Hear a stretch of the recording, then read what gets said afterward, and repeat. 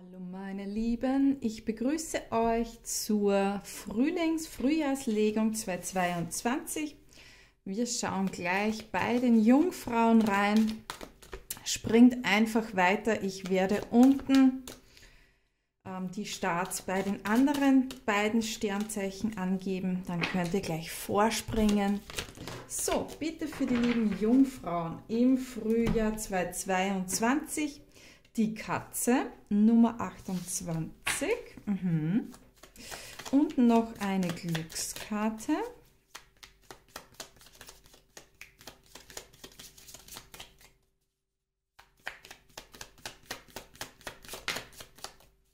Okay, so, alles klar. So, als Grundenergie fürs Frühjahr haben wir beanspruche deine Unabhängigkeit und lass los. Also, meine lieben Jungfrauen, hier wird etwas losgelassen und Unabhängigkeit zeigt hier an. Ganz klar. Ähm, du hältst an dieser Sache schon viel zu lange fest. Es wird Zeit, sich etwas Neuem zuzuwenden und plötzlich weißt du, es ist Zeit, etwas Neues zu beginnen und dem Zauber des Anfangs zu vertrauen. Ja, sehr, sehr schöne und sehr klare Botschaft hier auch für dich.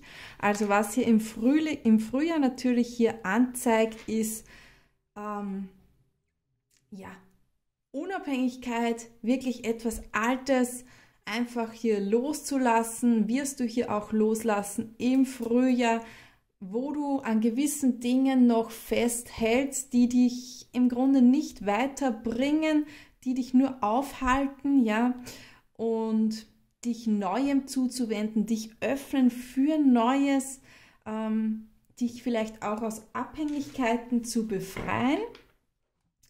Und ja, diesen Spruch fände ich sowieso wunderschön und plötzlich weißt du, es ist Zeit, etwas Neues zu beginnen und dem Zauber des Anfangs zu vertrauen. Denn jeder Anfang hat immer einen gewissen Zauber in sich und zwar diesen Zauber des Unwissenden, des Unbekannten. Ja, man weiß nicht wirklich, ähm, wie es ausgeht, wenn man etwas komplett Neues ähm, versucht, ausprobiert, macht. Ja, das ist einfach dieser Zauber des Anfangs, der einfach wunderschön sein kann und auch aufregend natürlich, ja.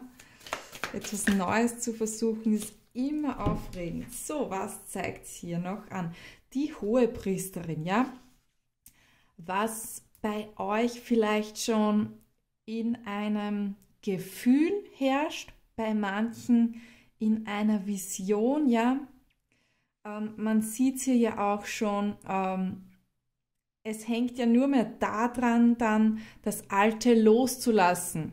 Also ihr habt ja das Neue quasi schon vor eurem inneren Auge. Ihr habt das Neue schon vor eurem inneren Auge. Es geht hier dann nur mehr darum, das Alte loszulassen. Das kann hier sein. Ein Beruf, ein Alter, der euch noch festhängt, der euch noch aufhält vor dem Neuen, das ihr bereits in euch schon trägt, ja. Das kann natürlich auch eine Partnerschaft sein, eine Freundschaft, ein komplett neues Projekt, ein neuer Verein, den ihr vielleicht beitreten möchtet, was auch immer, ja, ein neuer Wohnort, dass ihr euch vom Alten hier trennt und vielleicht in ein neues Land zieht, in einen neuen Wohnort wechselt das kann ja alles hier sein, aber es geht hier grundsätzlich um die Unabhängigkeit. Vielleicht machen sich ja auch viele selbstständig mit ihrer Idee, mit ihrem, mit ihrer Vision einfach. Ja, und hier gilt es halt einfach wirklich diesen Schritt dann auch zu wagen. Die 28 zeigt ja auch ähm, dieses, diese zwei, ja, einfach diese dieses Abwägen, auch diese Verbindung schaffen und das Achtern, den Schritt zu gehen, auch ins Ungewisse. Hier das Gericht, ja, dieser mh, mm, Aufwachprozess beziehungsweise ein mm, eine gewisse Auferstehung hier, ja, vom Inneren, dass man hier sagt, ähm, alles, was ich in mir bereits trage, in meinem Inneren, visualisiere die Vision, die ich im Inneren trage, jetzt hier nach außen zu bringen und hier wirklich auferstehen lasse. Ja, hier wirklich auch nach außen bringe und meinen inneren Geist hier nach außen trage, es nach außen zeige, es ausspreche, nicht mehr nur für mich behalte, ja, sondern es hier nach, nach außen lasse und hier mit den sieben der Münzen, ja, wo hier einfach bereits auch Wurzeln dann da sind, ja, die man schon heimlich hier langsam gesät hat, ja, man erntet hier, was man sieht und man sieht hier dann im Frühjahr schon, dass hier schon ein kleines Bäumchen einfach gewachsen ist aus diesen ähm, Samen, die man bereits gesät hat, aber es dauert halt noch ein bisschen, aber man sieht, es geht stetig vorwärts, ja. Etwas Altes muss noch ähm, hinter sich gelassen werden, dann wird es dann noch schneller gehen. Es geht hier um die Unabhängigkeit, dass man sich hier auch von niemandem mehr aufhalten lässt. Ein, zwei Karten noch bitte. Ja, und hier zeigt sich noch die Königin der Kelche, dass ihr hier eurem eigenen, eurer eigenen Intuition hier folgt, auch mit der Hohepriesterin und euch da wirklich ähm, führen lässt und auch hineinspürt in euch, was tut euch gut, was ist jetzt der richtige Schritt für euch und mal auf euch hört und nicht nur, was die anderen sagen, sondern wirklich auf das, was euch gut tut, was ihr auch für euch wirklich gut ist, ja, wo ihr euch wohlfühlt, ja. Ich meine, man soll sich ja hier auch wohlfühlen, denn nur in einem in einer Umgebung, in der man sich wohlfühlt, kann ja auch wirklich etwas erwachsen und erblühen. Ja, sehr schön. Wir schauen weiter hier mit den Wagen. So, meine lieben Wagen. Wir schauen ins Frühjahr 2022 und es zeigt sich hier der Frosch mit der Nummer 18. Dann ziehe ich noch eine Glückskarte für euch. Mhm. Okay, es zeigt sich hier, der Frosch misste aus und sei vorsichtig, manchmal wirkt eine Idee auf den zweiten Blick nicht mehr ganz so verlockend. Du solltest dein Glück nicht leichtfertig aufs Spiel setzen. Okay, also es kann hier durchaus bedeuten, dass du hier mit etwas abschließt, ja, wo du vielleicht anfangs dachtest, ähm, das wäre eine gute Idee beziehungsweise eine ja, sehr verlockende ähm, Sache aber es könnte hier durchaus sein, dass du sehr viel verlieren könntest, beziehungsweise dein Glück hier aufs Spiel setzen könntest in einer ähm, bestimmten Sache. Also miste hier gewisse Dinge aus, ja, die dich vielleicht mh, mm, ähm, gewisse Ideen, wo du denkst, ja, ist vielleicht doch nicht so gut, war vielleicht eine anfängliche Euphorie, aber langfristig betrachtet ist es vielleicht doch nicht das Beste für mich, ja? Hier vielleicht von gewissen Ideen Abstand zu nehmen und vorsichtiger zu sein. Was konkret zeigt es hier an?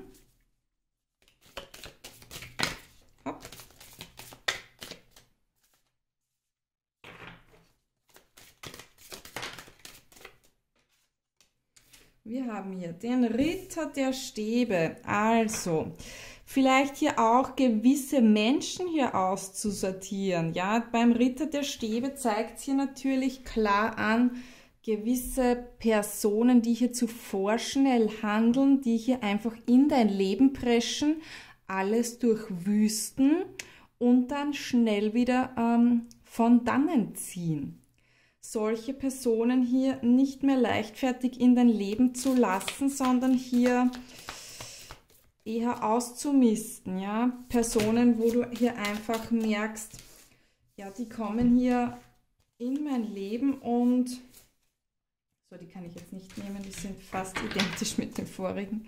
Ähm, und die kommen hier in mein Leben geritten, bringen alles durcheinander und ja, ich habe dann danach nur Chaos. Also sei hier vorsichtig und misste hier aus, ja. Egal, ob das hier, ja, höchstwahrscheinlich Personen, ja. Personen, Situationen, vielleicht auch eine gewisse Arbeitssituation, die dir einfach nicht mehr gut tut, die dich hier vollkommen ins Chaos ständig bringt. Ja, man sieht ja auch die zwei Schwerter. Hier ist definitiv eine Entscheidung deiner fällig, notwendig, wie beim Ausmisten eben. Ja, dass man hier wirklich von außen drauf schauen muss, ähm, was tut mir hier noch gut und bringt mir diese ganze Aufregung hier etwas? Ist das gut für mich? Ja, auf den ersten Blick ist ja immer sehr spannend, wenn da wer in mein Leben rauscht und hier alles durcheinander bringt. Aber ist das hier wirklich ähm, gut und sinnvoll ständig? So, und hier noch eben, ja, der Gehängte mit den zwei Schwertern zeigt einfach diese, dieses Nachdenkliche, dieses, ähm, diese Situation aus einer anderen Sichtweise zu betrachten. Ja? Das wird im Frühjahr hier sehr stark sein, aber es zeigt sich hier schon der, der Neubeginn, eine leichtere, ähm, eine, du möchtest hier dann eine leichtere Sichtweise, eine leichtere Zukunft, nicht mehr dieses Chaos hier, das hier ja ich sag mal, zwei Wochen nichts und dann vollkommenes Chaos hier. Du möchtest hier Balance, Leichtigkeit, ähm, neue Dinge, neue Wege gehen, in Harmonie, ja, in Frieden. Und ja, hier sieht man auch diesen 180 Grad Wandel und du wirst hier überlegen, was ist hier dazu nötig, was brauchst du hier, das Ganze auch in Waage, in Balance zu bringen, denn für die Wagen ist das natürlich ähm, dieses Chaos von Haus aus ähm, ja nicht ihr, ihr Feld. Ja, sie möchten immer alles gern im Balance haben natürlich. Und darum geht es, wie du das schaffen kannst. Musst du vielleicht etwas ausmisten, vielleicht musst du hier gewisse Arbeitsweisen, gewisse Verhaltensweisen auch ausmisten, vielleicht auch gewisse Glaubenssätze ausmisten, vielleicht auch gewisse Personen, ja. Ja, darum wird es im Frühjahr hier bei dir gehen. Und wir starten hier weiter zu den Skorpionen. So. Hallo meine lieben Skorpione. Oh, da fliegt schon die erste. Und es ist wieder die Katze. Die war schon bei den Jungfrauen. Bitte noch eine Glückskarte dazu.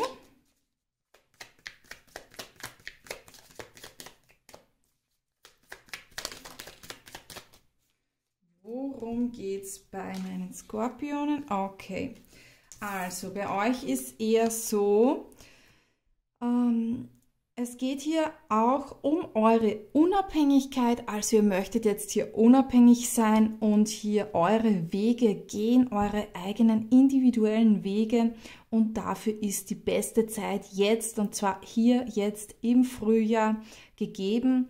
Denke nicht an gestern oder morgen, heute steckt voller wunderbarer Möglichkeiten, sorge dich weniger und tu es einfach und am Ende wartet das Glück auf dich. Wer nichts wagt, der darf nichts hoffen.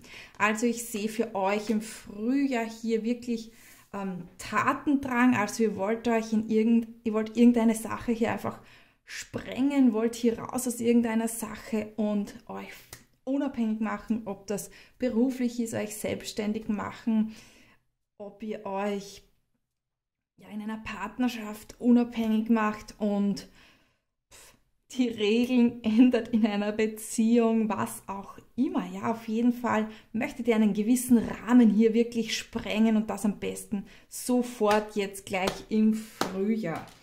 Das, ja, wer nichts wagt, der darf nichts hoffen. Und ich sehe hier auch einen extremen ähm, Mut, wo ihr wirklich ähm, auch eure eigenen Grenzen hier überschreitet im Frühjahr, was ihr euch vielleicht bisher nicht getraut hattet, ja.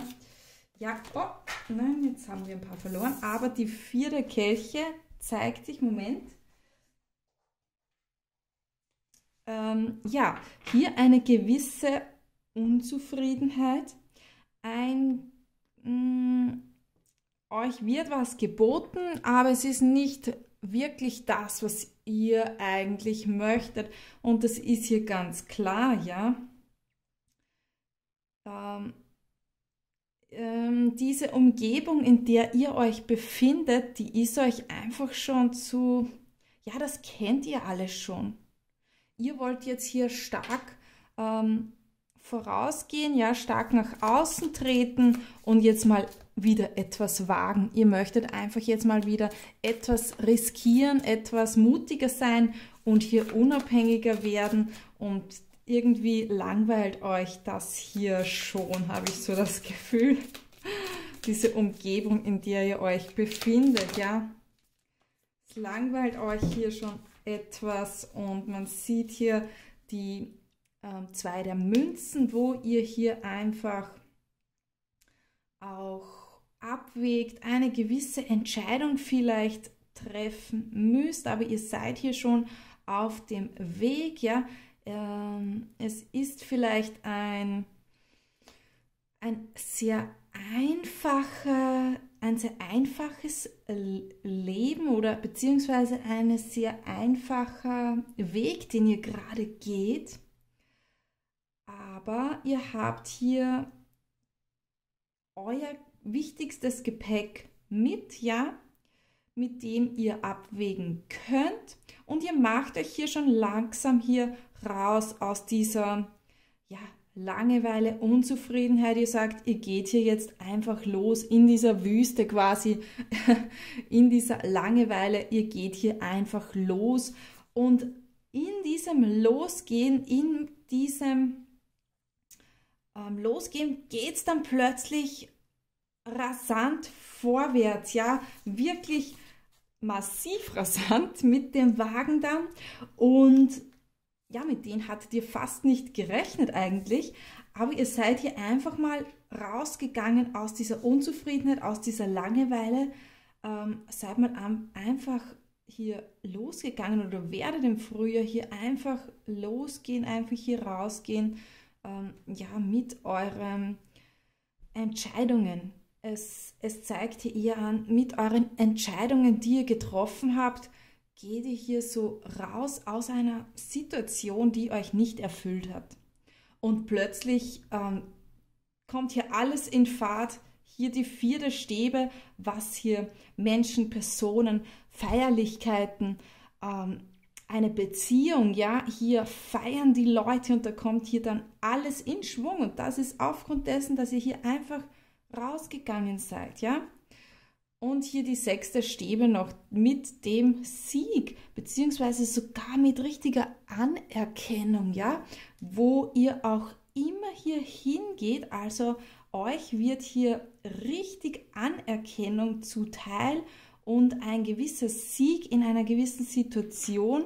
Und man sieht ja auch, dass ihr hier richtig eben diese Unabhängigkeit auch möchtet, die ihr dann auch erreichen werdet und ihr hier, hierfür richtig etwas wagen müsst. Ja, ihr müsst hier wirklich Mut aufbringen und ja, das sieht man hier wirklich sehr schön, wie ihr herausgeht und man erntet, was man sieht. Also ihr, ihr tut hier etwas, ihr geht hier vielleicht in eine unbestimmte Richtung wo ihr nicht ganz wisst, ähm, wie es ausgehen wird, aber ihr macht euch hier einfach unabhängig auf dem Weg, weil euch diese ganzen Kelche, die euch hier gereicht werden, nicht mehr erfüllen und plötzlich kommt dann alles in Fahrt im Frühjahr und man sieht hier diese Ernte, die ihr hier einfahren werdet, ja. Es kann hier viele Bereiche hier treffen, vielleicht sogar in allen Bereichen, kann ich mir hier auch vorstellen, wenn ihr wirklich komplett alles verlasst und hier zum Beispiel in ein neues Land sogar geht, also kann das hier wirklich in allen Bereichen hier zum Positiven führen, ja, wenn ihr hier eine Arbeitssituation verlässt, ja, und hier vielleicht einfach mal weggeht, ohne dass ihr wisst, wohin, ja, können sich hier plötzlich Möglichkeiten ergeben, ja, mit denen ihr gar nicht gerechnet hattet. Genauso in einer Beziehung hier, ihr geht hier einfach mal raus und hier ergeben sich dann plötzlich vollkommen neue Wege, neue Türen öffnen sich hier. Das zeigt es hier wunderbar an, ja. Okay, meine Lieben, ich wünsche euch einen wundervollen Tag. Bis zum nächsten Mal. Alles Liebe. Tschüss.